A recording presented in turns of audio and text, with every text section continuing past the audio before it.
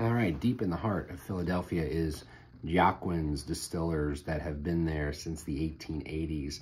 Uh, and the Cooper family that's owned it since uh, the 60s has actually been responsible for some of the most famous cordials uh, ever to be created and sold. So Chambord is what their father invented, uh, and then Domaine de Canton and Saint Germain.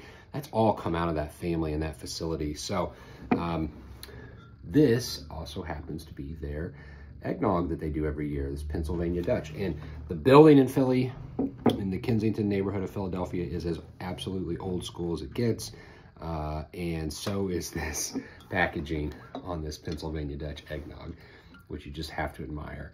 Uh, so this one's nice because it's actually a mix of rum, brandy, and uh, blended whiskey, as well as real Pennsylvania cream.